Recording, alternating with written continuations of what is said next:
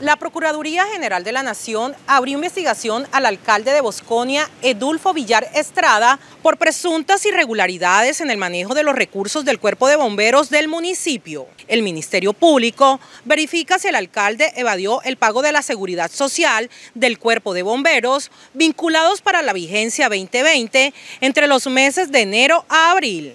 La Procuraduría General de la Nación abrió investigación al alcalde de Bosconia, César Edulfo Villar Estrada, por presuntas irregularidades en el manejo de los recursos del cuerpo de bomberos. La entidad verifica si el investigado avaló el uso del bien fiscal del ente territorial ubicado en el barrio Los Ángeles para reubicar los voluntarios sin que se llevara a cabo una resolución, las cuales correspondían a cinco locaciones construidas con un área de 18.542 metros cuadrados. Además, se verifica si el alcalde evadió el pago de la seguridad social del cuerpo de bomberos, vinculados para la vigencia 2020 entre los meses de enero y abril, como también si en este mismo predio se le permitió por aproximadamente 17 meses coarrendar presuntamente la empresa de transportes Nacho Trans. De esta manera, la Procuraduría busca verificar a través de la solicitud de diversas pruebas el presunto uso inadecuado de los recursos económicos y fiscales del municipio.